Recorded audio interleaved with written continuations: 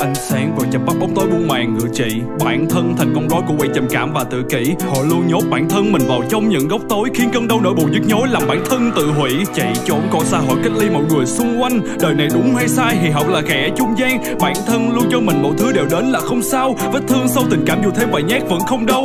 Không màu nào rực rỡ cho bức tranh cuộc đời họ. Không sầu nào bằng chính gia đình bỏ rơi đời họ. Sâu đời này cũng là con người sao ta vô tâm với nhau. Đừng cố vô cảm nào nát con tim vết cắt nhiều tới đâu.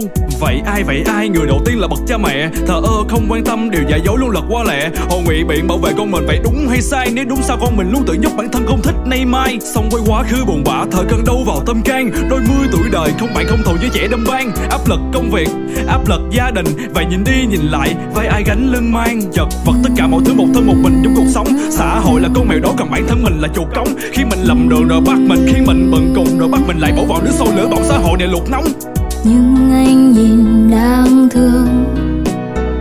Không một ai cho mình trốn nương thân này. Cái ác tìm đến đây. Mình hoa kiếp người. Mình vươn vấn gì cuộc đời đang cay. Thôi thì thôi, ở đây. Đêm rồi đêm búa vây. Giết mình không chán tay và không ai biết ai hay và rồi ta đi tìm về nơi xa nào chẳng còn những ngôn nào.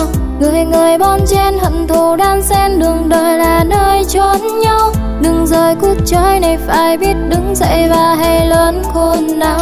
Từng lần đau đớn rồi mình sẽ khóc. Đừng tự giết chết chính mình. Đừng tự giết chết chính mình mày đã được dạy được thấy rằng lòng tốt sẽ là thứ không bao giờ bị tước lấy. Mình lớn lên với những điều bổ ích những câu chuyện cổ tích rằng rùa sẽ luôn là kẻ đến trước. Đến khi sự đời tự tới cho mày một cái tác thẳng và quát rằng sự cố gắng cũng sẽ bị dìm xuống. Mày sẽ đéo thể ngóc đầu lên được. Cảm nhận sự giam cầm tâm trí mày sắt thép nhưng cám dỗ là cục năm. Trăm mày đéo thể nào chối bỏ thứ mày thèm khát. À, cái sĩ diện vẫn là thứ mày không đem phát. À, LSD, cocaine, morphine, amphetamine từ 6 đến 12 giờ thì cái răng mày đã nghiến. Nơi trần gian mày chú ngủ và God damn đồng tử mày giãn ra. Vật vả và co giật Đến khi không còn phản xạ. Mày có hiểu Khi sự sống mày không thể lâu hơn. Khi sinh mạng đó ra đi không phải chỉ thân xác đó đau đớn. Satan đã mở cửa không dây dưa không dời Ngày. Lòng thương xót chính là methadone cứu rỗi cuộc đời mày. Uh, Cảm giác tội lỗi sẽ không tha thứ ai. Bàn tay mày được nắm sẽ không có lần thứ hai. Khi ngụy biện cái xấu có cả trăm vạn hàm ý Thì hãy nhìn vào ánh sáng để biết mày đang làm gì. Quá muộn rồi tội ác đã ghi thế giới lầm rồi người tốt thiếu chi. Đưa tay vùng dậy phải bước tiếp đi.